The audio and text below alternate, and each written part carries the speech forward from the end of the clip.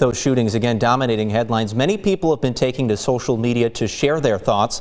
Tonight, News Channel 9's Julia Blanc sat down with a local expert to talk about the cycle we see after these tragedies, something she calls mass shooting fatigue. Make it to the west side of Walmart, please.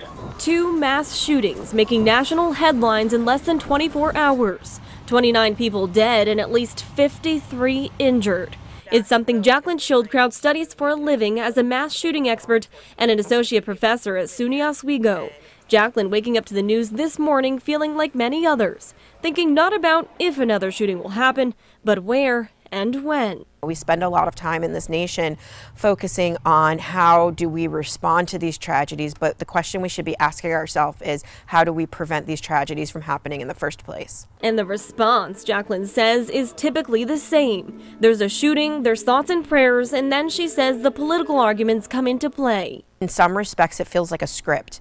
And I, I don't say that to make light of what's going on, but just because you can predict what's going to be said in what order and how it's going to come out. And, you know, frankly, it's infuriating. A cycle she's dubbing as mass shooting fatigue, but one Jaclyn says should include all parts of the conversation. Mass shootings are multifaceted, multidimensional issues, and if we keep trying to talk about them in these very simplistic one note terms, we're not going to make any real headway. And though it may be hard to see right now, Jaclyn says in comparison to where we were years ago, headway has been made. We see more and more people like in this last year with Parkland getting at, you know getting active and using their voices.